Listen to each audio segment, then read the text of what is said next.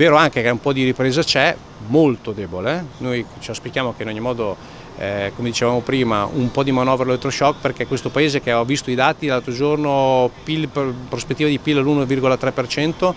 eh, e si attesteranno su questi circa a fine anno, senza edilizia non può superare questo dato, perché l'edilizia è un indotto talmente largo che non può in ogni modo generare altro lavoro. E se noi prendiamo ad esempio un'abitazione colpisce un indotto dalla, da chi fa gli impianti elettrici, impianti meccanici, a chi fa il muratore, ai, ai pavimenti in legno o ceramica, ma è, talmente larga che in ogni modo è un indotto che genera veramente tantissimo fatturato e PIL. Ma come, c'è qualche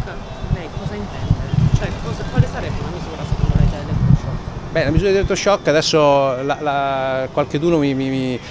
c'era il piano case fatto anni fa proposto dal governo Berlusconi, adesso magari eh, non una cosa del genere che, sia, che, è una cosa abbastanza larga perché io credo che sia